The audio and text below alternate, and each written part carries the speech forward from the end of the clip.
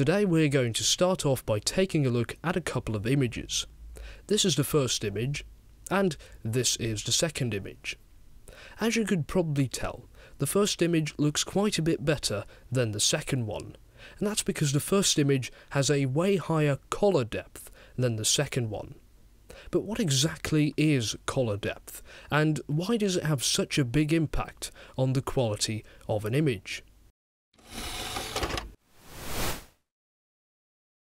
A digital image consists out of thousands, if not millions, of tiny little squares, also known as pixels.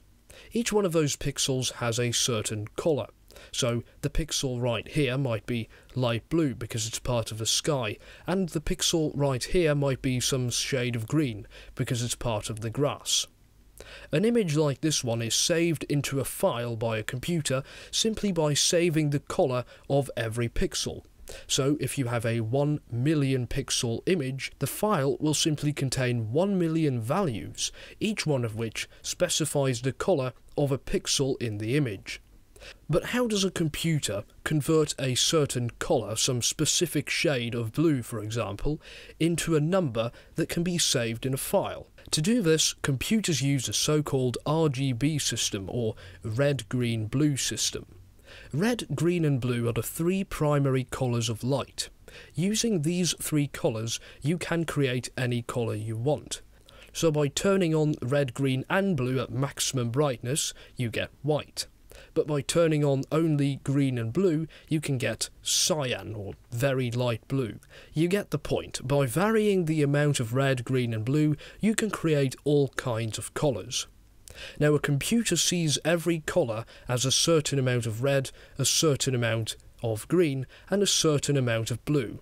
So this right here, this is orange. The computer doesn't see this as one colour. The computer sees this as X amount of red, Y amount of green, and Z amount of blue. I don't know what the exact values are, but it sees this colour as three values, red, green and blue. And these values are then stored in the file. But now we still don't know how these values are encoded. Well, a computer obviously uses binary. It uses zeros and ones, also known as bits, to encode information. So how does it use bits to encode colours? Well, it's actually very straightforward.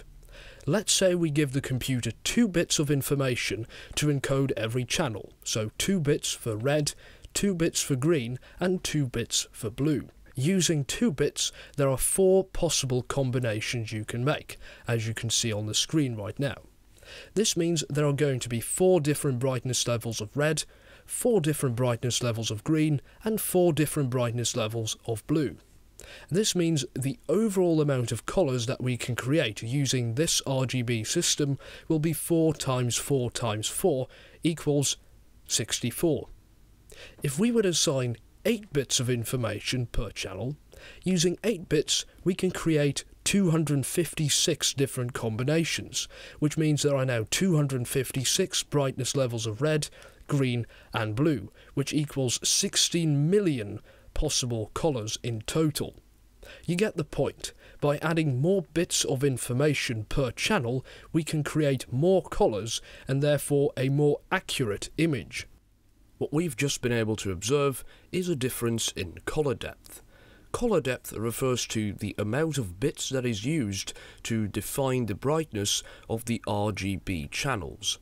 In the first example, we had a 2-bit color depth, and in the second example, we used an 8-bit per channel color depth.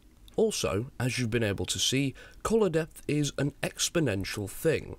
Using 4 times as many bits doesn't mean you get 4 times as many colors. In fact, we got way more than that. This is why a slight difference in color depth can make a huge difference in the visual quality. Well anyway, now you know exactly what colour depth is and why it has such a big impact on the quality of an image. I hope you've enjoyed this video and thank you for watching.